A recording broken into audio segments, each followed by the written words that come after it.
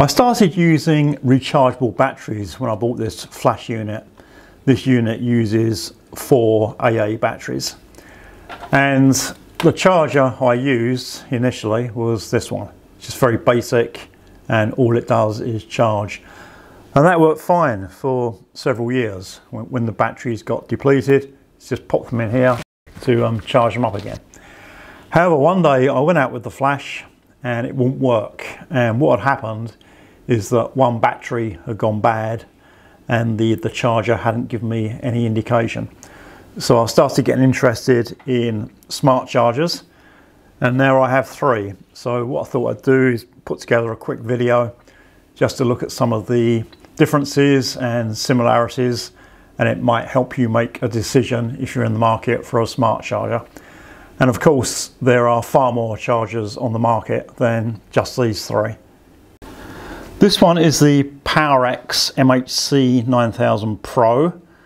This one is the Vapcell S4 Plus and it's the version 2.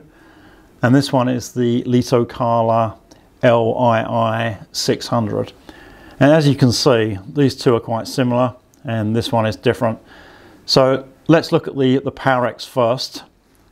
And the slots can only accept AA or AAA size batteries and the charger can only handle nickel metal hydride or nickel cadmium batteries.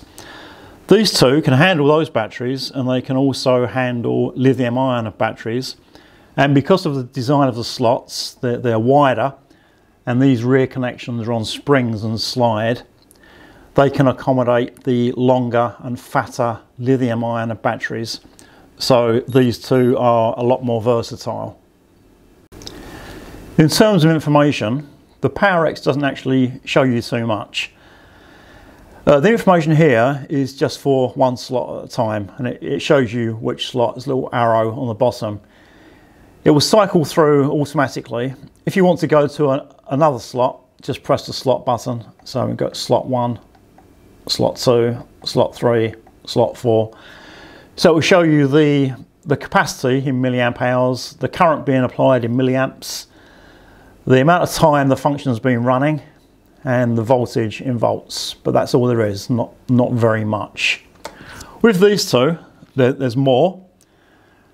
Uh, voltage uh, the resistance as well which the Powerex hasn't got resistance in milliohms the current being applied the time the function has been running uh, the temperature and the capacity.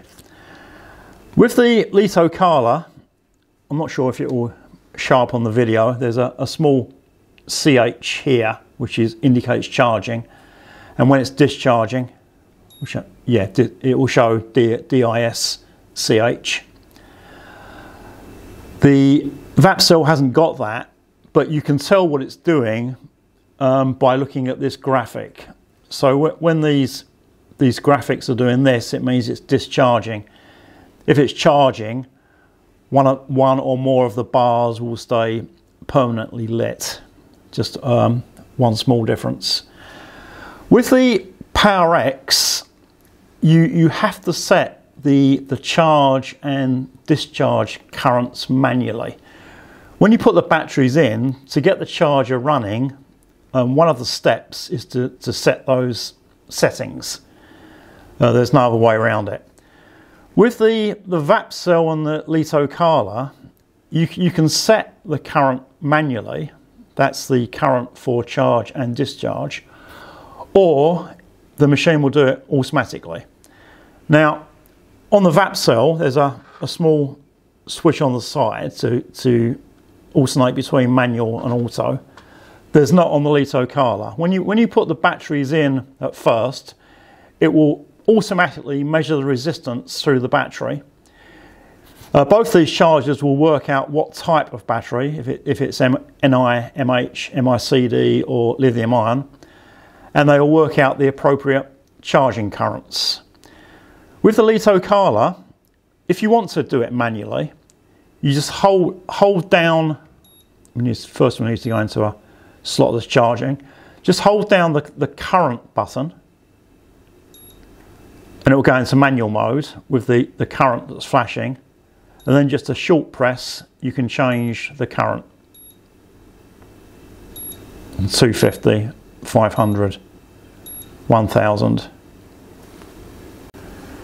With the Powerex you can choose charging currents between 200 milliamps and 2 amps in 100 milliamp steps.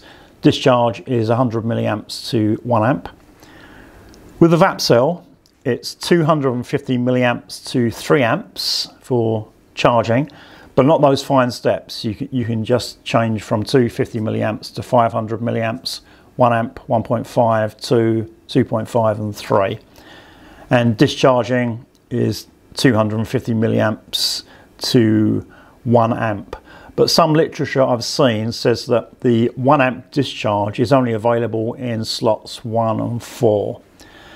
And with the Kala, the charging like this one is 250 milliamps to 3 amps and the discharging is 250, 500 or 750 milliamps. Whichever charger you buy, they all do basically the same thing. They've all got four modes.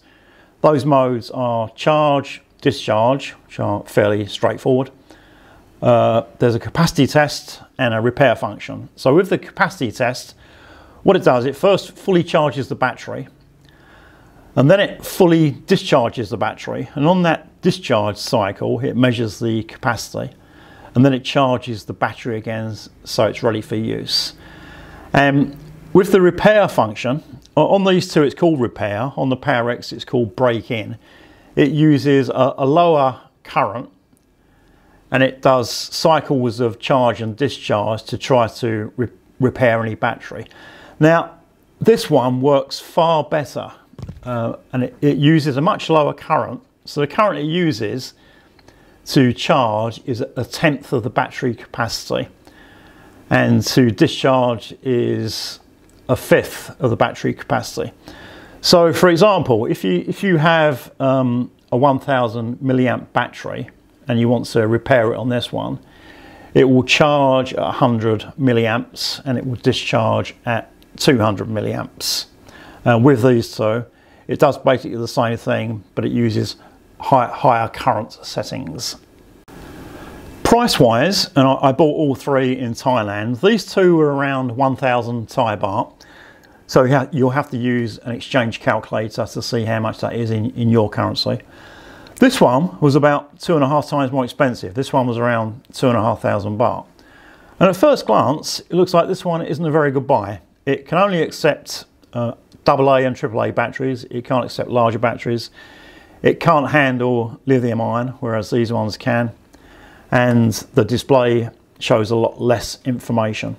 However, there's a, a big advantage. And on quite a few occasions, I've had a problem with the battery and you, put it in one of these chargers and it just, the charger just says error. It won't, it won't do anything.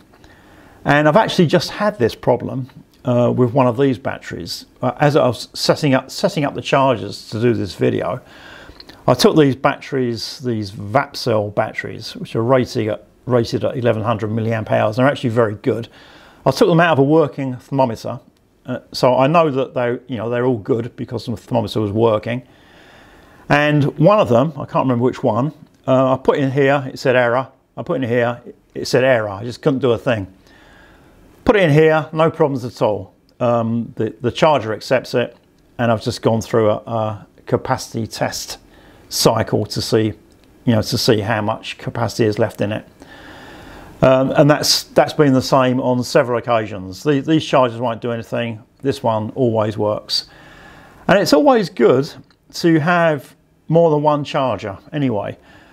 With this one, if it's doing a repair, because it uses a very low current, it takes ages. It does a, a 16 hour low current charge, then it rests for an hour, then it does the, the 20 20% uh, discharge, and then it does another 10% 16 hour charge. And the repair time can take up to 45 hours. So this one might be tied up for a couple of days. And if you want to charge some batteries, you know, you, you need another charger. So I've got three, and it's good to have different brands because some are better at some things than others.